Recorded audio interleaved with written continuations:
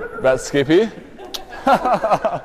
um, he's, yeah, he's, he's our mascot, so he's on the bench with us. He's basically our 15th player. I, I think it's gender, gender neutral, so no idea.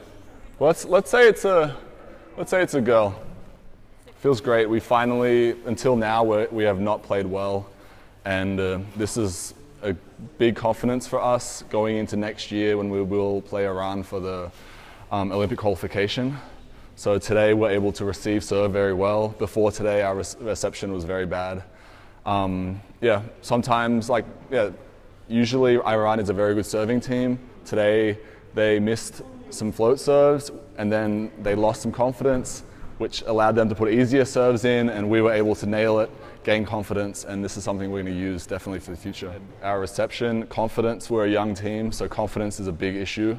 And in Toyama, when we played three really strong teams, they, yeah, they had amazing players, and our heads were down.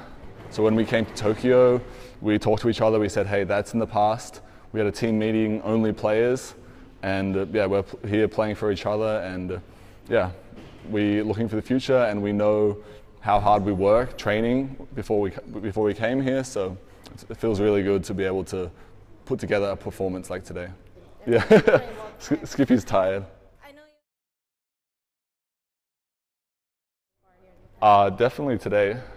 Today, and uh, I think Edgar, 50, his 50 point performance against Egypt. We beat Egypt.